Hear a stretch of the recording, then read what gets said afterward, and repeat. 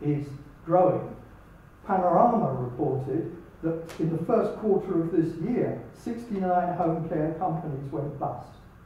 And, um, well, I can give you more statistics about that.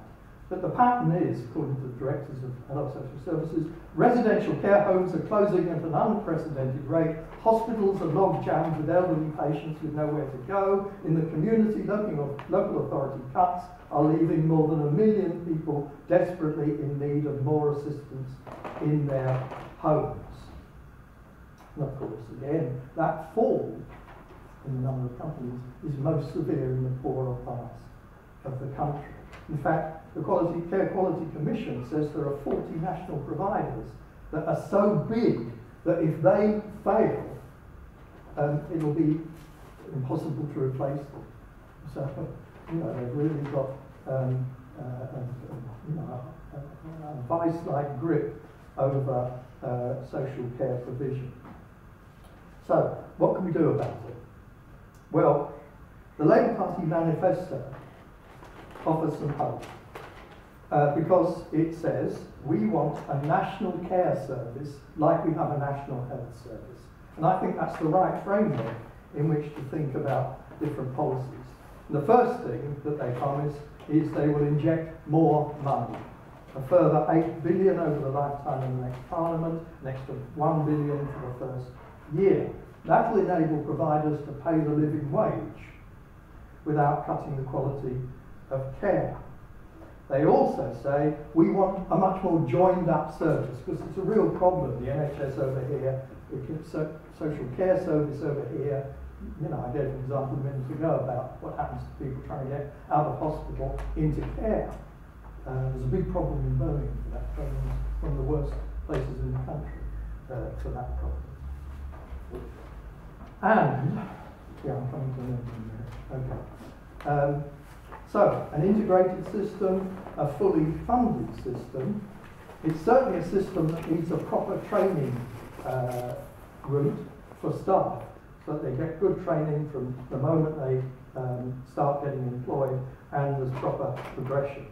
Uh, you could start by making it mandatory, the existing apprenticeship schemes in social care, which are not mandatory at present. But the question remains, what do we do with those big providers that dominate the system? Because more funding from a Labour government simply runs the risk of just making them more profitable again.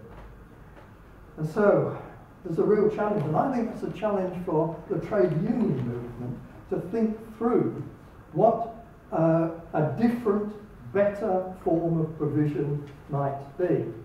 Um, and there is some interesting evidence from the Care Quality Commission, which basically says the highest performing care providers were those that had the most personalised care, where people are at the centre, which is obvious, isn't it? Um, and community care providers were rated the highest.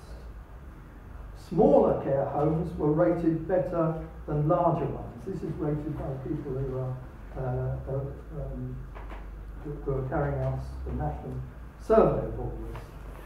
Um, so, there is a model there, isn't there, of small, locally based, community based care provision, but clearly strongly regulated by local authorities.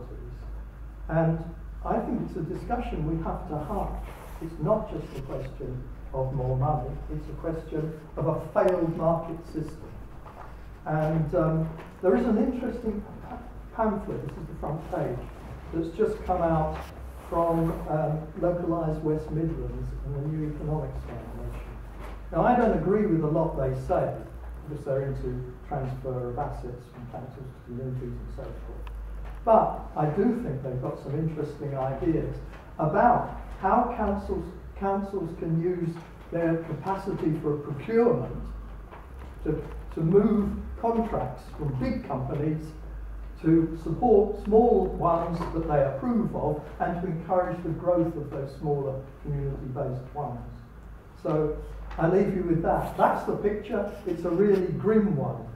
Both in children's care in the city, with the children's centres, but in particular with adult care because it is so difficult to campaign around it. Although if we hear of a place closing in uh, Birmingham, we should do something about it. Uh, in the meantime, it's that part of the iceberg that's under the surface that's a challenge for us to think about how to address.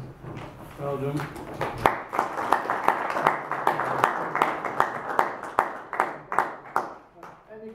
Questions for Richard? Yeah, can, Um, first one there.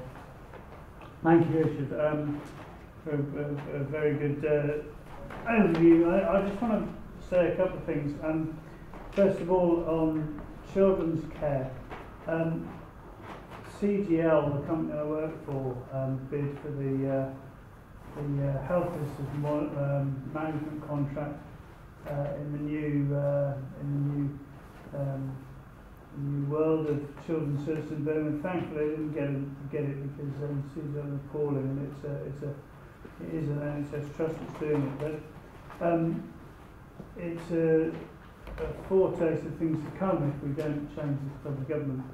Um, the centre premises, I've got real concerns and I'm not sure um, if it's been really touched upon or, or very well widely publicised, but the centre, the centre premises are often owned by the very trust that's determining which ones are going to stay open and which ones aren't. Um, and I think there's a real conflict of interest there. There are big gaps as a result of um, the, the proposed closures. Um, and actually, um, for example, they're looking at closing the one um, on Bristol Road, just opposite where the uh, McDonald's is. They're looking at closing that uh, children's centre, which a huge gap in, in southern Ladywood and northern Edgbaston, where there's some real, um, really uh, uh, high need for, for the children's centres. Parents in crisis are not going to want to take two buses to, to, to find a, a worker. Neither are they going to want to stay on hold on a, on a, on a phone system which tells them to press one if they want to kill their child or if they want to kill themselves and wait 30 minutes for someone to come and tell them that they'll get someone to ring them back in, in two days' time. And we really do need to, uh, we really do need to, to, to, to try and come against this as much as possible. The trade union recognition is really important uh, and achieving. But coming on to adult social care, I'm a user of adult social care. And, and the gap is not just for the elderly. I'm 52 years old. I've got a friend who's 56 who now is being discharged from hospital with no um, care plan at all because she's expected to wait